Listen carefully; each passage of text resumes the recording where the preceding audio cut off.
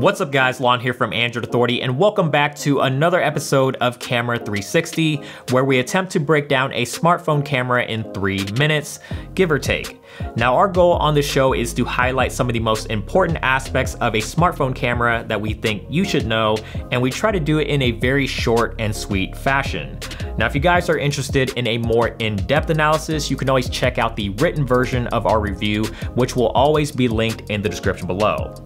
Now that we've gotten that out of the way, let's get into today's episode with the Nokia 9 PureView. What makes the Nokia 9's camera such a headlining feature is the fact that it has 5 cameras, 6 if you count the 20 megapixel front-facing camera. The Nokia 9's rear camera array are all 12 megapixel cameras with 2 being RGB and the remaining 3 all being monochrome for capturing tons and tons of data. All of this extra data makes the Nokia 9's cameras a great option for serious mobile photographers who don't mind putting in the work to get the desired results.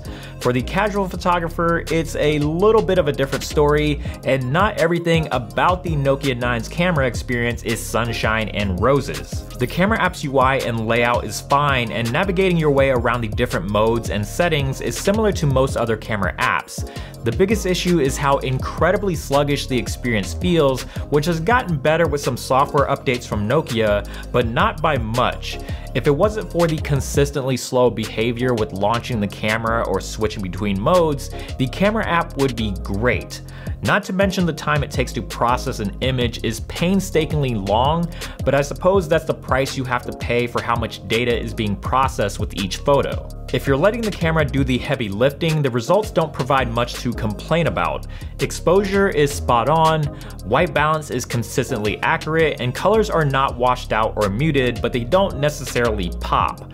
The Nokia 9 seems to go for a more true-to-life approach. The camera is strong in daylight conditions with good sharpness, texture, and shadow detail thanks to the 5 cameras, and of course its HDR image processing. HDR on the Nokia 9 PureView does well with pulling out tons of extra detail in dark areas of a scene, and it does extremely well with taming highlights on a bright sunny day. You might remember this same shot from our LG G8 camera review, which also had HDR enabled, but didn't handle the highlights nearly as well. At a glance, the Nokia 9's low light shots do look quite good. Exposure, white balance, and colors again are all spot on. If you look a little closer, you will find that there's quite a bit of softening that's applied to most likely help with noise, but generally the Nokia 9 performs fairly well in darker conditions.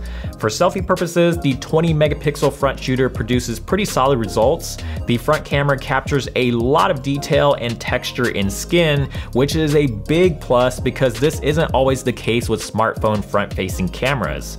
Colors are a little bit on the muted side and highlights on bright backgrounds can get blown out pretty easily, but the results overall are acceptable. The Nokia 9 isn't a video recording beast, but you can record 4K video at 30 FPS, although a 60 FPS option would have been nice for more fluid looking video and a little more flexibility with slowing footage down in post.